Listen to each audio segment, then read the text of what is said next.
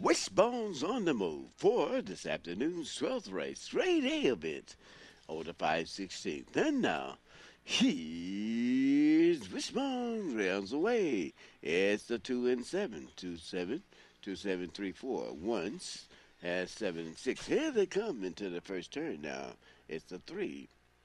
Uh, and the seven, three, seven, eight. A greyhounds down the back stretch. It's the three, eight now.